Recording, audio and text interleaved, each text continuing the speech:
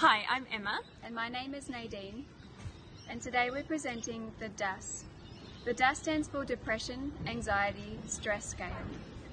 The DASS is a three self-report scale that measures negative emotional states. These states are depression, anxiety and stress. Each of the three scales has 14 items. There are two versions of the DASS. The longer version, which is a 42 item version, and the shorter one, which is the DASS 21, and that takes half the time to administer because it's half the amount of questions.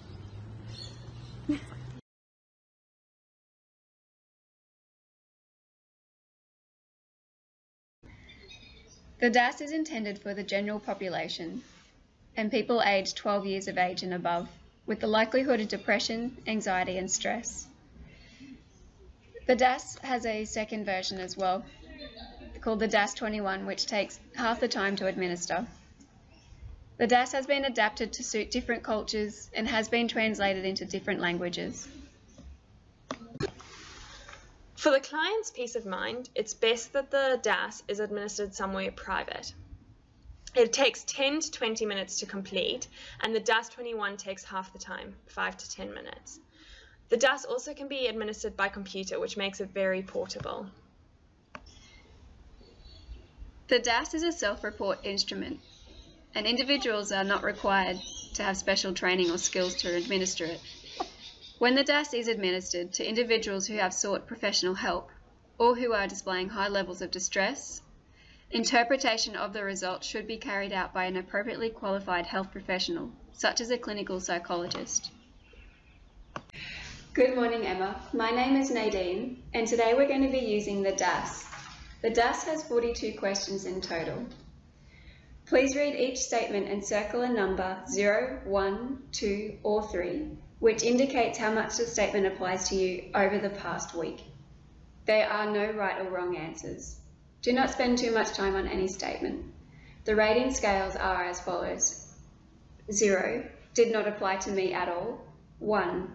Applied to me to some degree or some of the time. 2. Applied to me to a considerable degree or a good part of the time. 3. Applied to me very much or most of the time. Okay. There we go. Um,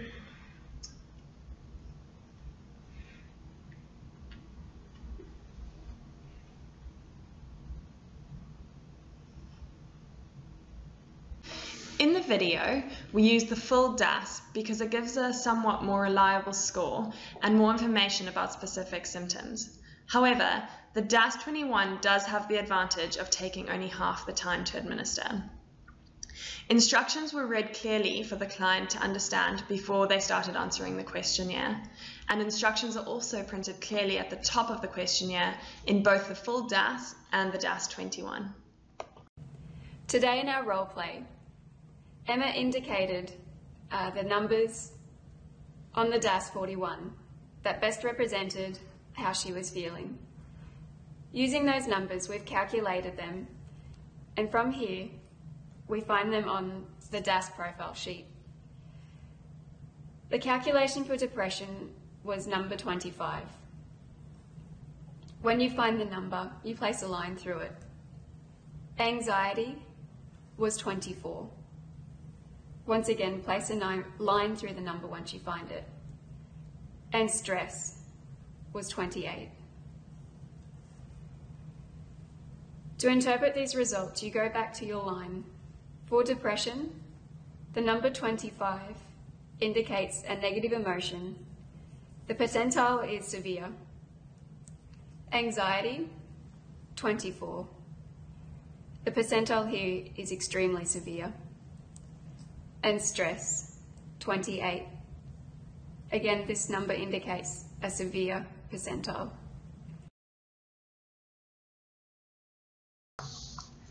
A scoring template that's provided with the DASS can be applied to both sides of the full DASS questionnaire sheet as well as the DASS 21 questionnaire. For each of the three scales, depression, anxiety and stress, a letter is allocated. D for depression, A for anxiety, S for stress. The scores for each of these scales are then added and presented on the profile sheet as shown in the video.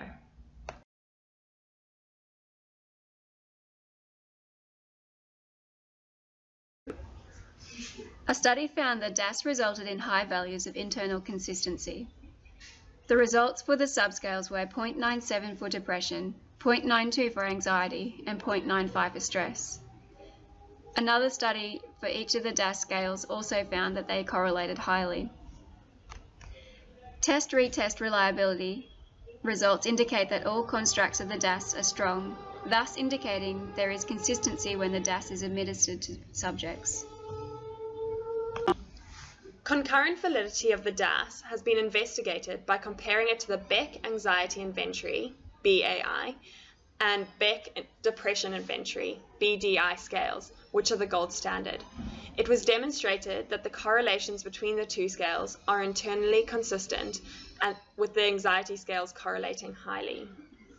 Predicted validity has not been explicitly demonstrated.